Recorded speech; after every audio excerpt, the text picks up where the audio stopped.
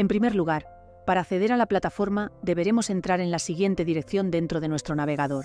Teniendo preparados nuestro nombre de usuario y contraseñas previos al inicio de la actividad, pulsaremos en el botón superior de Iniciar sesión. Al pulsar sobre el botón, será redirigido a una nueva pantalla donde poder poner el usuario y la contraseña que te corresponden. Tras ello, le daremos al botón de entrar. Tras iniciar sesión, deberás bajar ligeramente hasta encontrar la sección llamada Proyectos en curso.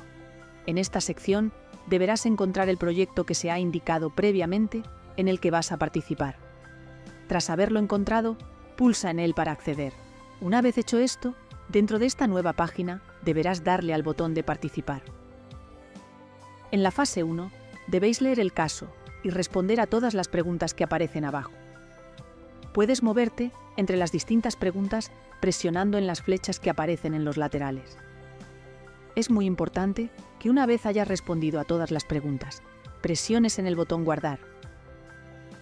Si necesitas volver a leer el caso, pulsa en el símbolo mayor que en la esquina superior izquierda. Una vez comience las fases 2 y 3, abajo os aparecerán las respuestas de otros cuatro compañeros para cada pregunta. Revisadlas atentamente. Podéis copiarlas, modificar las vuestras o quedaros con vuestras respuestas. Para copiar una respuesta de otro compañero, únicamente necesitas darle al botón de copiar respuesta. La plataforma os moverá y cambiará de sitio virtualmente, así que las respuestas de los compañeros comenzarán a cambiar constantemente. Es muy importante que pulses en el botón de guardar cuando hayas copiado o modificado alguna de tus respuestas. En la fase 4, la inteligencia artificial de la plataforma va a comenzar a cambiaros las respuestas mientras os sigue moviendo para que veáis las opiniones de otros compañeros.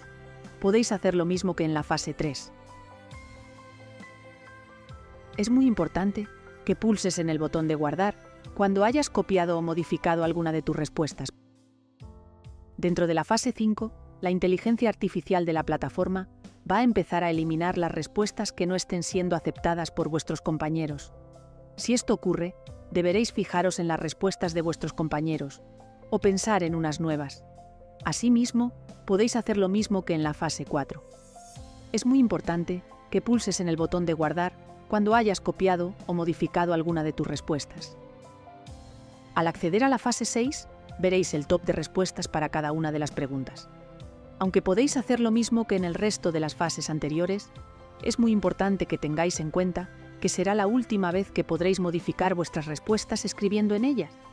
Es muy importante que pulses en el botón de guardar cuando hayas copiado o modificado alguna de tus respuestas.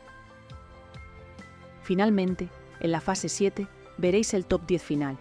En esta fase, solo podréis mantener vuestra respuesta anterior o copiar alguna de las respuestas del top, ya que será vuestra respuesta final.